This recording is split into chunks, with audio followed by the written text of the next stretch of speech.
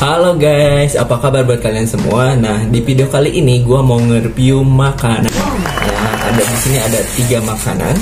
Tapi sebelumnya alangkah baiknya buat kalian semua untuk dukung YouTube channel ini dengan cara subscribe tombol di bawah ya. Klik tombol di bawah dan like juga serta dukung dengan cara komen juga ya. Kira-kira bakal review makanan apa lagi ya? Nah, oke, okay? yuk lanjut. Nah, di sini gua beli jajanan, jajanan yang ada di daerah Setiabudi di Bandung tentunya yaitu samping UPI. Di situ banyak jajanan banget dan jajanan yang gua beli di sini jajanan favorit gua. Ya, salah satunya yaitu ada batagor. Ini batagor.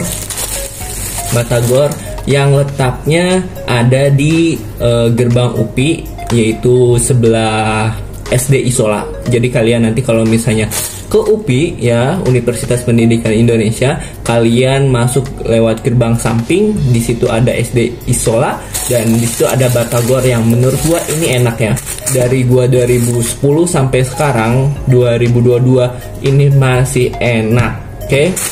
ini dia dan di sini ada cilok cilok goreng ini kalau kalian orang Bandung daerah Setiabudi pasti tahu nih daerah Borma. Borma di situ ada yang namanya yang jual cilok. Cilok goreng. Ini. Ya dikasih bumbunya nanti. Dan yang terakhir yang akan gua makan adalah ini dia si pisang keju crispy-nya. Ini sih baru ada ya nggak tahu ya kayaknya mungkin baru setahunan ya ada di daerah sana. Ya nanti kita review langsung ya. Oke? Ya kita langsung makan ya. Makan dulu batagornya. Biasa ya kalau makan batagor nah di sini makannya. Kita kocok kocok kocok kocok kocok kita kocok dulu ya biar bumbunya tercampur merata ini menurut gue sih enak. Gue selama di Bandung belum nemu batagor yang enak. Di gue di sini beli cuma 5000 sih. Biasa gue beli 5000 dan seperti biasa makannya makan makan batagor itu ya kita buka dari ujung plastik sini oke. Okay. Hmm. kita buang sampahnya. Oke. okay dan ini dia. Yang kita makan. Lihat. Uh. Tuh. Kita makan ya. Hmm.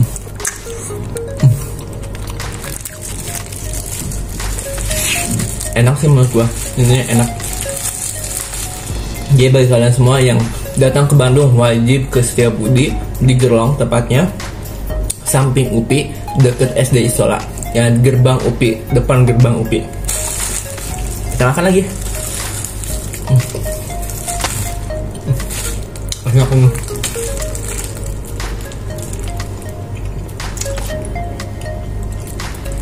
ini bumbunya kerasa banget ya.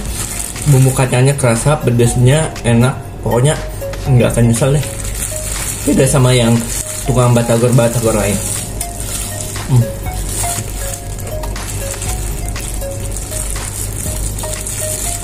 enak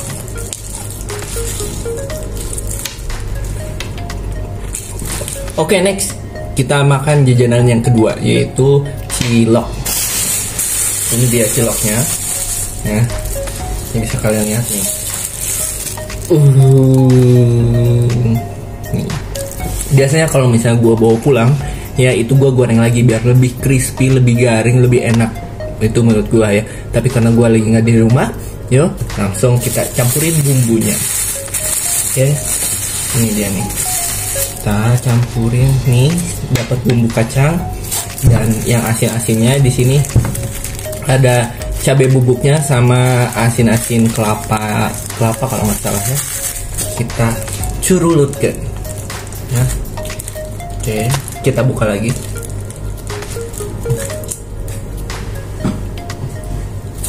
kita curulutkan oh nih ya uh Uh, lihat. Uh, wow, wow, wow, wow, wow, wow, wow, wow, wow, wow. Nah. Hmm. Hmm. Oke. Yang asinnya kita campur sama pedasnya.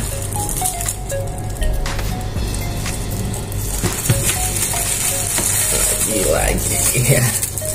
Purulukeun. Kita purulukeun ya. Uh, ini sih enak sih. Ya ini gua udah sering banget kalau misalnya ke Borma. Depan Borma kan itu banyak jajanan. Gue sering makan beli ini. Kalau zaman-zaman dulu ngekos pasti kalau misalnya belanja ke Borma wajib beli ini. Ya. Kita langsung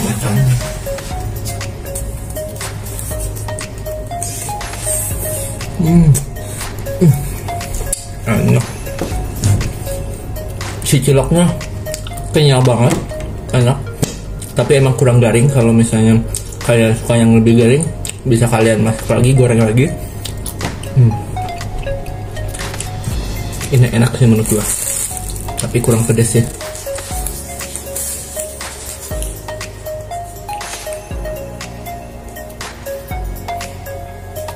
Yang suka pedas pasti enak kurang pedas. Enak ini. Sumpah, kalian wajib coba.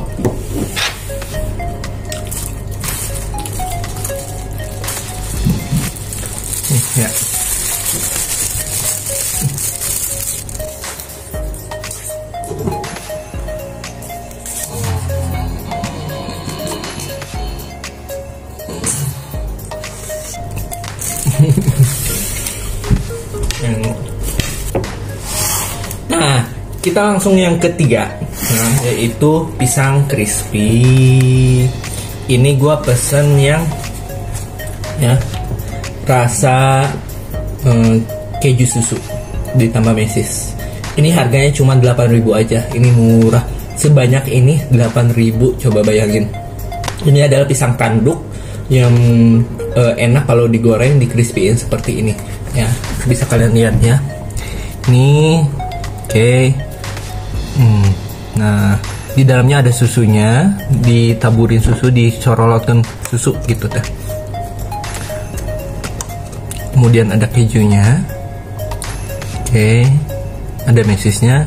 Kemudian di sini ada crispy-crispynya. Langsung kita coba ya.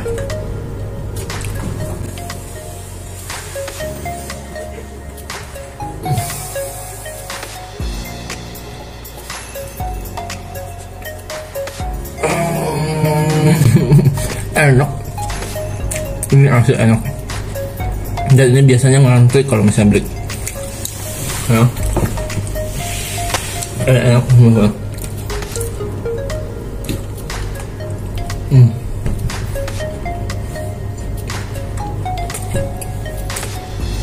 susunya banyak.